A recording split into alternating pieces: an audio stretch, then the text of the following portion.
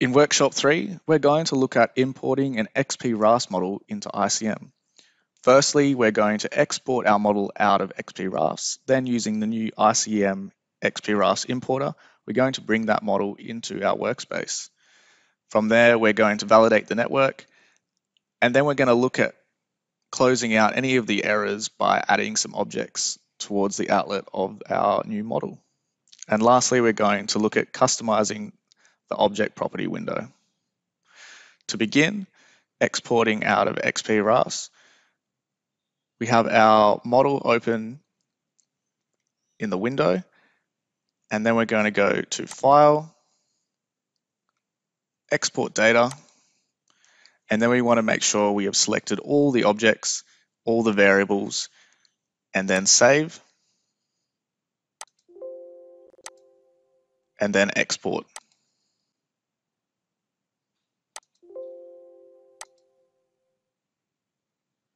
Now we're ready to bring it into ICM.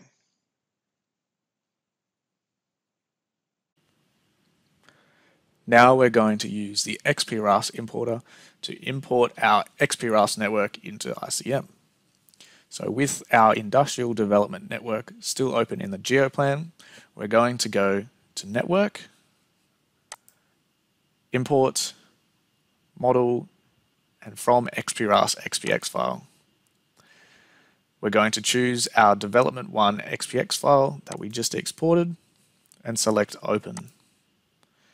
In the import XPRAFTS window, we're going to keep the unit size small and we're going to keep on maintain network connectivity by converting downstream lag links to channel. Press OK. We're going to close the message log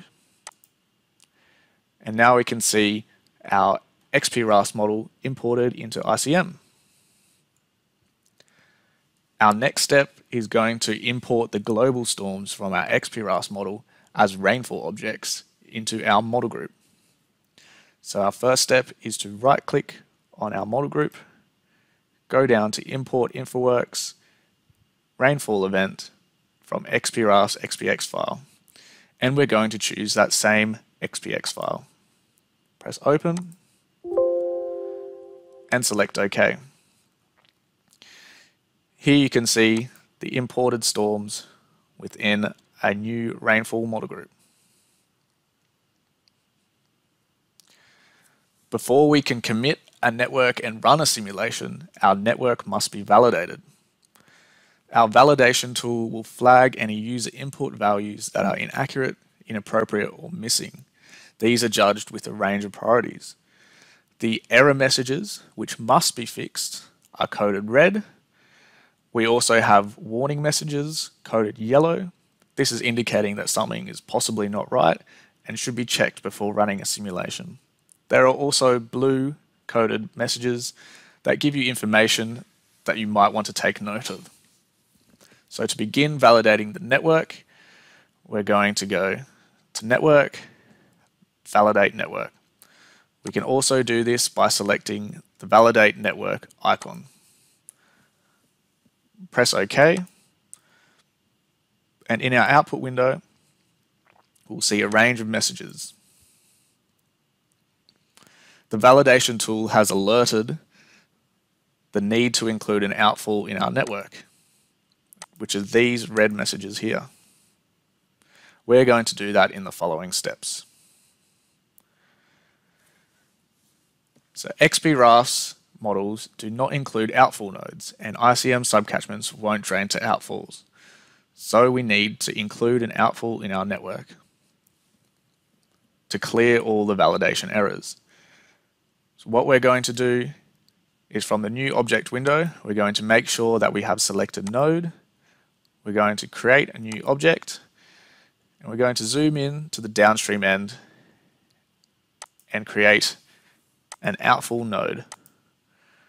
We're going to name the ID outlet and check that we have our system type set to storm. And press OK. You will see once the object has been created, the properties window will now appear. There is also a red inline validation error indicating that we need to enter data before we can run the simulation.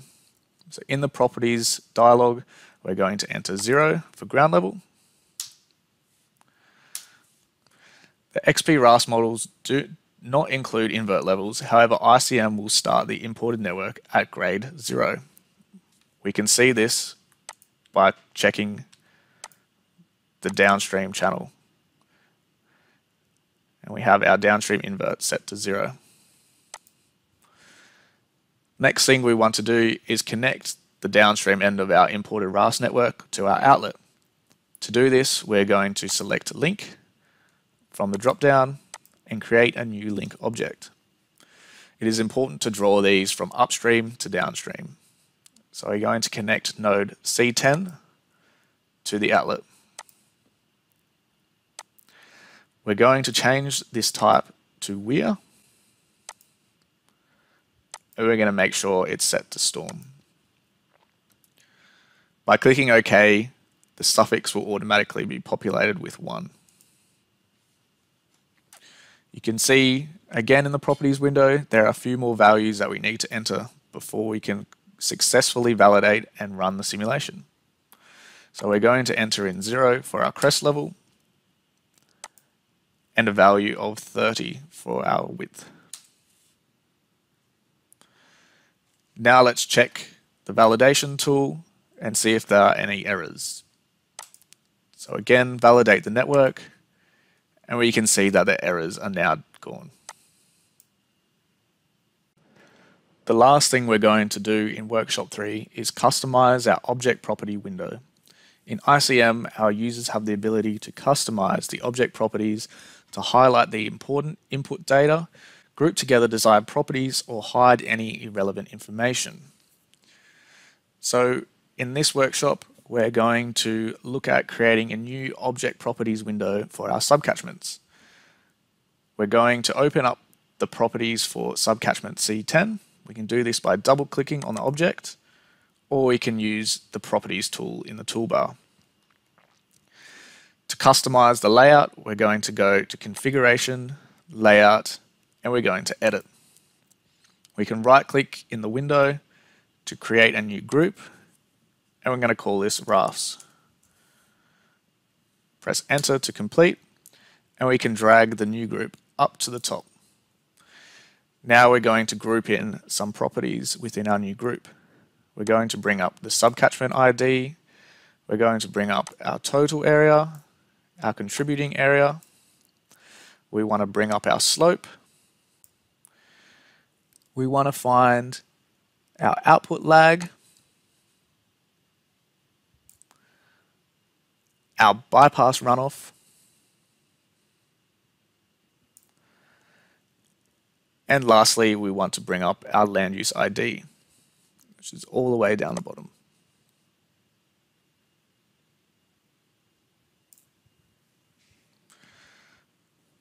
Once we have the desired grouping, we can right click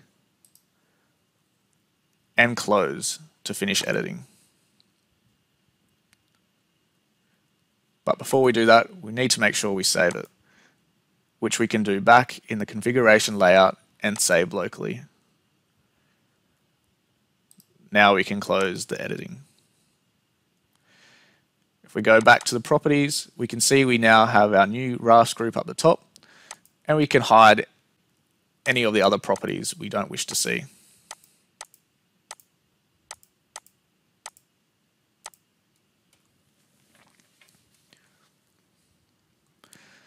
Once we have done that, we're going to commit the changes to the master database. So we right click on our network, commit the changes, and we're going to add in a descriptive title in the comments. Workshop 3, XP RAFTS, model imported, and outfall added. and select OK.